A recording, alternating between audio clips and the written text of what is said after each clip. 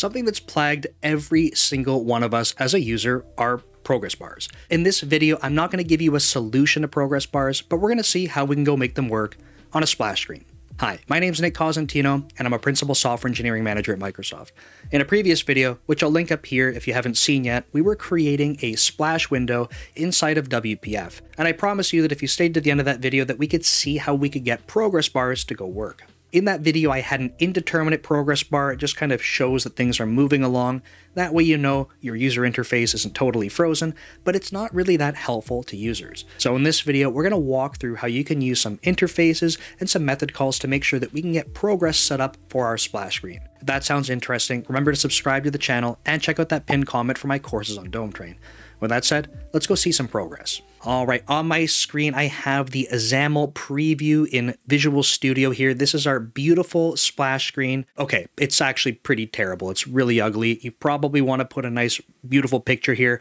I don't have that, so you get magenta instead. But you can see that the progress bar is just kind of scrolling along. This is the indeterminate mode for a progress bar, but we're going to make some changes here to ensure that we can go set it. What I'm going to do is scroll down a little bit lower in the XAML here to our progress bar. I'm going to take off the is indeterminate property here. We'll get rid of that.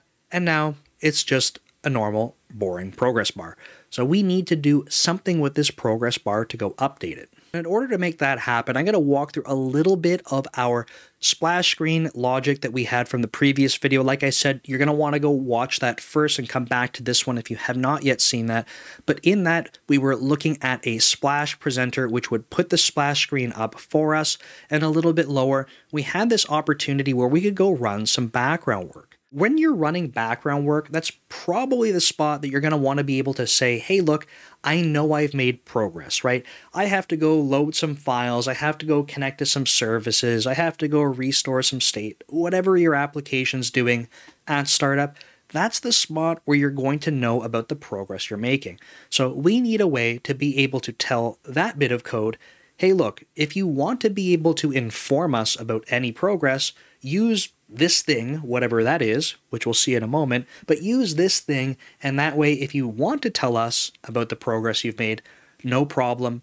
Call it, use it, and that way we can show the progress for you. This is just a brief interruption to remind you that I do have courses available on Dometrain focused on C Sharp. So whether you're interested in getting started in C Sharp, looking for a little bit more of an intermediate course focused on object-oriented programming and some async programming, or you're just looking to update your refactoring skills and see some examples that we can walk through together, you can go ahead and check them out by visiting the links in the description and the comment below. Thanks, and back to the video we have to have something that we can provide into here in order to get progress. So what I'm going to do is I'm going to change our API here. It, this should say splash screen progress. And you'll notice that this is the old parameter that we passed in. I'm going to get rid of it in just a moment. I'll comment it out for now. iProgress is a built-in interface that we can use that's meant for this sort of thing. It's pretty lightweight. If I jump over to it, you can see that it just has a report method and it's a type parameter. So it's not just an integer or a floating point number. You can use anything you want to report progress on, but it's really simple. Just this one method. It's up for us to figure out how we want to go implement that. In my case here, I'm going to use splash screen progress as the state that we're using, and that way we can have that passed in and have it available for the person who is doing the work in the background, and they can call the report method on this thing to have any status update. So if we go back up here, I'm going to go add this back in. I was hiding it in plain sight. So we have splash screen progress. Now this compiles. I can get rid of that. And if we jump back up to our background work that we're doing, this do heavy work async callback no longer is compatible. And that's because it needs two parameters passed in. So this would be progress and then the cancellation token which means now we do have access to progress, right? So if I type here, I can go report progress. And then I need to give it a splash screen progress instance that we go make. Fortunately for us, I've gone ahead and done that ahead of time. This is going to be very simple, but you'll see here that I have this progress info. I've actually changed this from a previous video, so I'm going to go put this back. Let's go do this this should basically get us the percentage along the way. So it's going to go up by 2% every time. And then it's also going to have a message because the splash screen progress DTO that we have here, this data transfer object, has a value, which is the progress from 0 to 1, and then a message that we can show in the user interface. And I'm going to have to go back to that XAML file in just a moment because we didn't actually talk about a spot where we're going to show that. If we continue looking through what we have, this is where we have the progress being reported, but who's responsible for making sure that happens? First, we need an instance of the thing that's going to report progress, and there's a bunch of different ways you can do this. You could have a dedicated object for it. We could make a whole separate uh, view model. We could make a view model or um, a user control associated with that. I'm going to cheat a little bit here because you can go figure out how to apply these patterns for your particular case, but I'm going to make the entire user control, so that entire splash window is going to be able to report progress. So I'm going to take splash window and pass it in, and we have to go make sure that this thing can report progress now. In order to make that happen, I have this interface that I created. You don't have to use an interface here. We could go take this and just tack it on to the user control. In this case, I'm just going to do this and now if we go look at our splash window back over here, it's already implementing this interface, but it needs to have that method so that it can report progress. And here I have this method to report progress, and I'm cheating a little bit because I'm just going to set the text and the value of the progress text block and this progress bar to be the things that come off of progress info.